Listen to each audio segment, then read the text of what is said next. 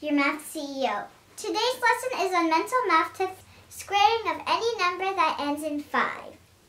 Let's say you have 15 times 15. You look at the ones digits and say 5 times 5 is 25, so you multiply it. Then you put a 25 at the end.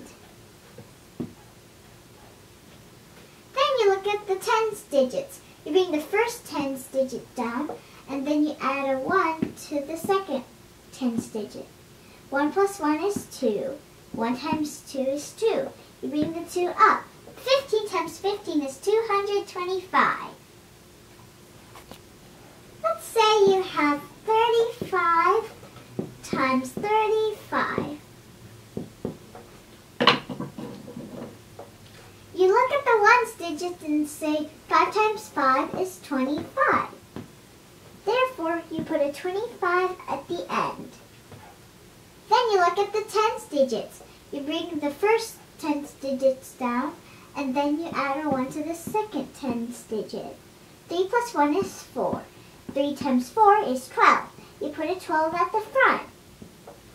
Your answer should be 35 times 35 equals 1,225. Let's say you have 85 times 85. First you look at the ones digit, which is 5. 5 times 5 is 25. Therefore, you put a 25 at the end of your answer. Next, you look at the tens digits. You bring the first tens digit down, which is 8, and then you add a 1 to the second tens digit. 8 plus 1 is 9. 8 times 9 is 72. You put a 72 at the front. 85 times 85 is 7,225. Thank you so much for watching this video. Be sure to subscribe and share with all your friends and family.